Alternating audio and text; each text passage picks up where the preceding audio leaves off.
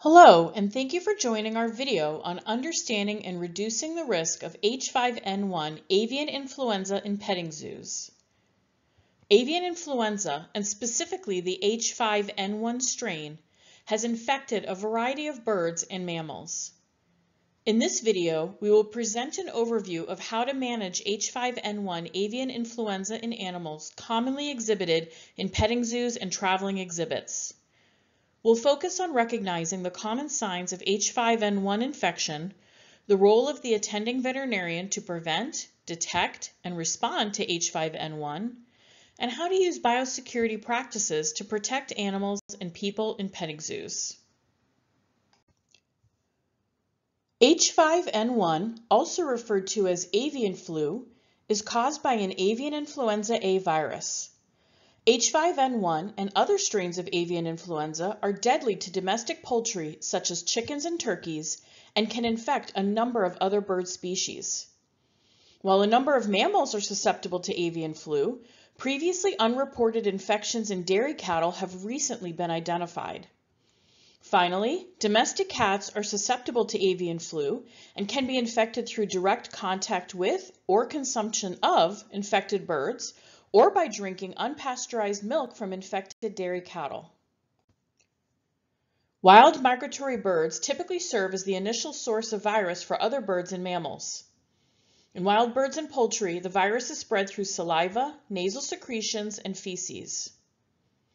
Mammals and other birds are infected through direct contact with infected wild birds or poultry, or indirectly through shared pasture or living spaces, contaminated food or water sources, or by catching or eating infected birds or poultry. Movement of infected animals from one place to another can further spread the virus. Milk from infected dairy cattle contains high levels of the virus, and unpasteurized milk from infected dairy cows and contaminated milking equipment can be sources of avian flu and its spread. The virus is killed by heat and pasteurization, and pasteurized milk is safe for human and animal consumption. Finally, avian flu viruses, like all influenza viruses, are spread through close contact. People contacting infected animals are at higher risk of becoming infected with avian flu. Settings where people from different places come together and have close contact with animals, such as petting zoos, can be a source of spread of avian flu between humans and animals. It's important to be familiar with and to be able to recognize the signs of avian flu in your petting zoo animals and domestic cats that may visit or live in the petting zoo area. Some of the clinical signs of avian influenza infection in animals are not unique to avian flu and could be due to another condition. Early detection of suspect cases will improve your ability to respond to and contain any cases of avian flu in your animals. Daily observations and regular communications with your attending veterinarian are the keys to successful and early detection and response. This includes monitoring for signs of illness and death in your animals, as well as any unusual sickness or death in wild animals on or around your facility.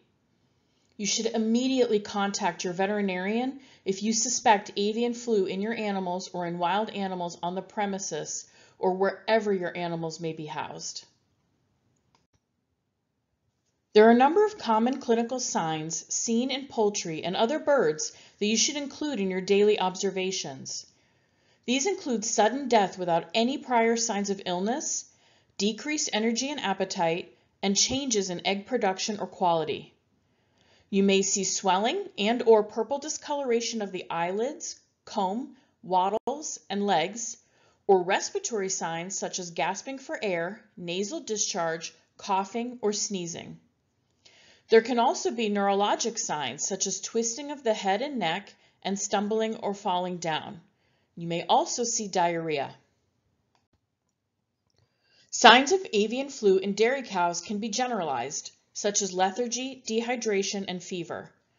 The most common reported symptoms in dairy cattle include decreased food intake, decreased rumination, and decreased milk production. Tacky or loose feces can be a sign of avian flu in dairy cattle, particularly if other suggestive signs are also present. Respiratory signs may include clear nasal discharge, increased respiratory rate, or labored breathing. Some infected dairy cattle exhibit decreased milk production and produced milk that is thicker and yellow in coloration, more closely resembling the appearance of colostrum.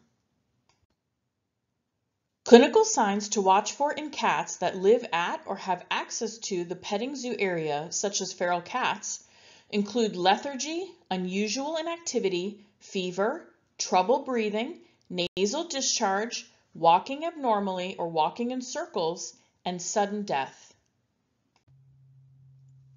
A communication plan should be in place between the facility and the attending veterinarian to respond quickly to any suspected cases of influenza-like illness in your animals or any unusual wildlife deaths on the premises. Attending veterinarians should be prepared to collaborate with federal and state agencies to implement appropriate actions in response to any suspected or confirmed cases of avian influenza in your animals.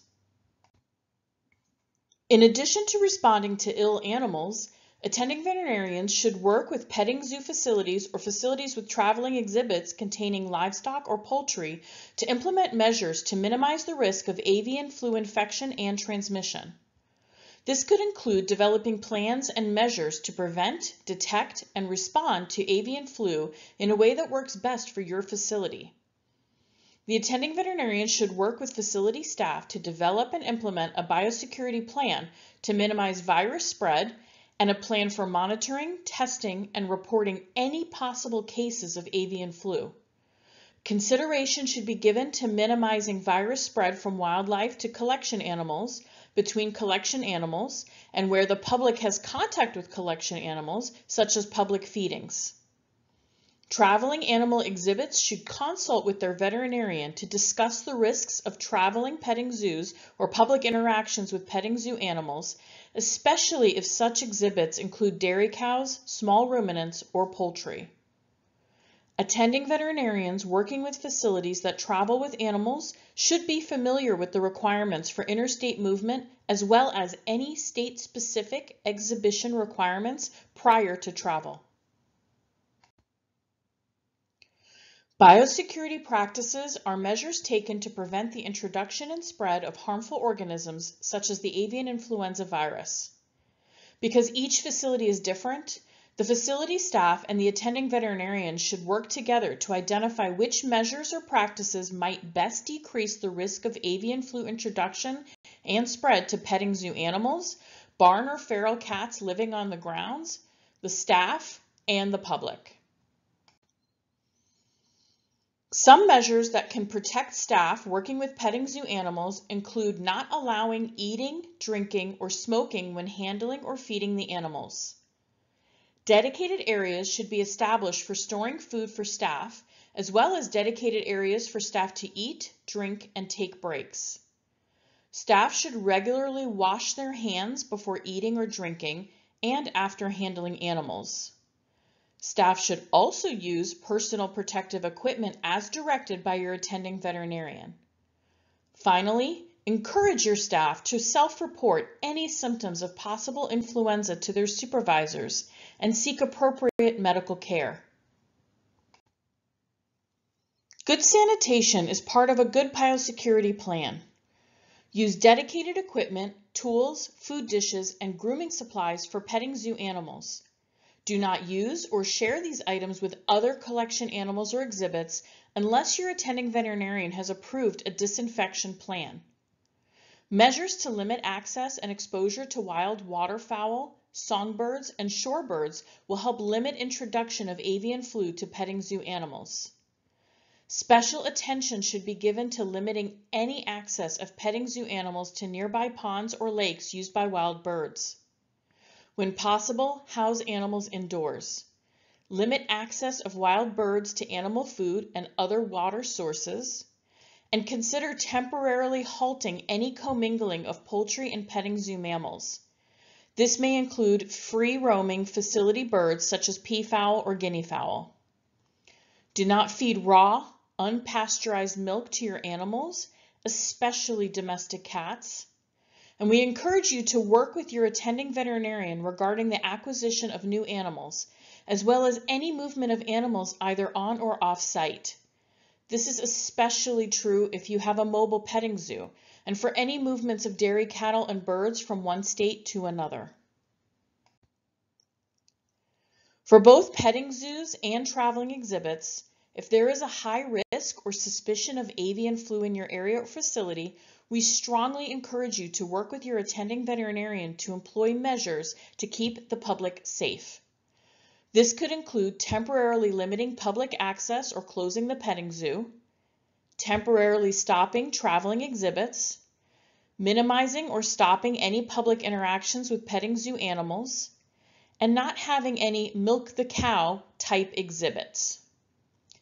We recommend discouraging guests from eating, drinking, or smoking while in the petting zoo area.